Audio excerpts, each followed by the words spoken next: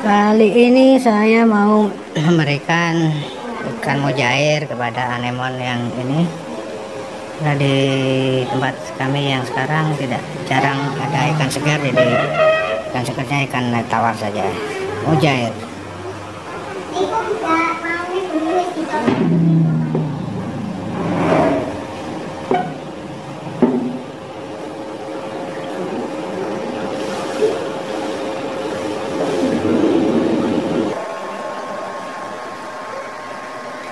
Música